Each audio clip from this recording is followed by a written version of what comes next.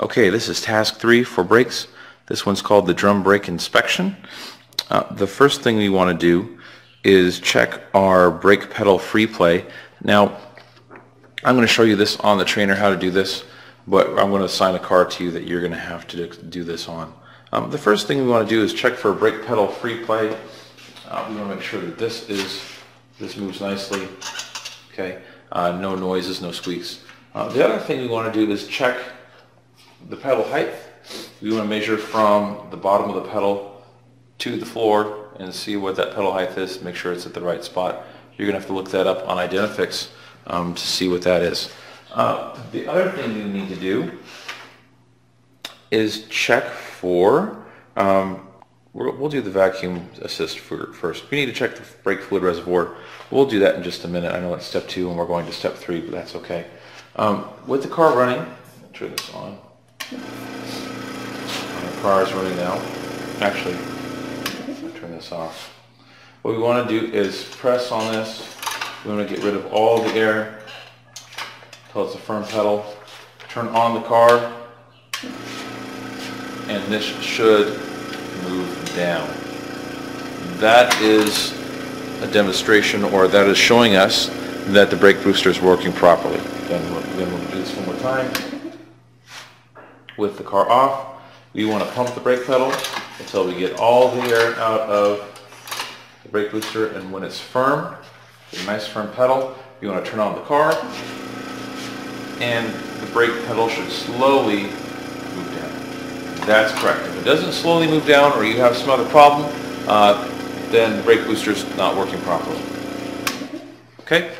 So after we check our brake booster, we want to make sure that our brake fluid level is proper. Go ahead and open the hood and we'll check under the hood and make sure that that's at the right level. It should be about a quarter inch from the top. The next thing we want to do is lift the car up, put it on a stand or put it on floor jacks.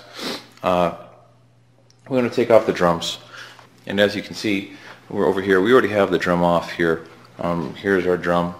And we want to check again for any scoring or hot spots or cracking or uh, glazing that we may have on here. So you want to visually inspect this and note that down. Uh, the other thing we want to do is measure this.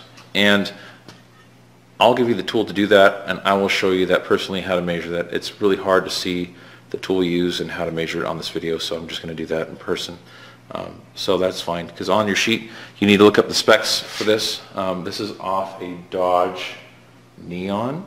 So you're going to have to look up the Dodge Neon in the book under, but you have to look it up under Chrysler in our book. It's not listed under Dodge. They only list trucks under Dodge. Look it up under Chrysler. Um, you'll find Neon under there, and it'll give you the, the correct width here, the interior or inner diameter here, what the maximum can be, and then you need to measure it with our tool and see what you get here. And then note that on your packet. Okay? Uh, once you have that done, um, we're not going to be cutting these Okay, but we want to check the hardware, check our, re our uh, retainer springs, check our piston, make sure we're not leaking. Okay, um, check our springs down here. Just give it a good visual inspection, make sure we're good. If it's good, um, just note that it's good. That's all you need to do. Um, and that pretty much sums it up. Go ahead and reinstall the drum though.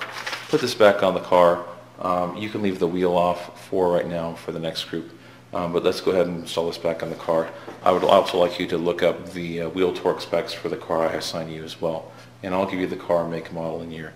But you need to look it up on Identifix and tell me what the wheel torque needs to be um, to install this properly. Okay. And once you get that done, come get it signed off by me.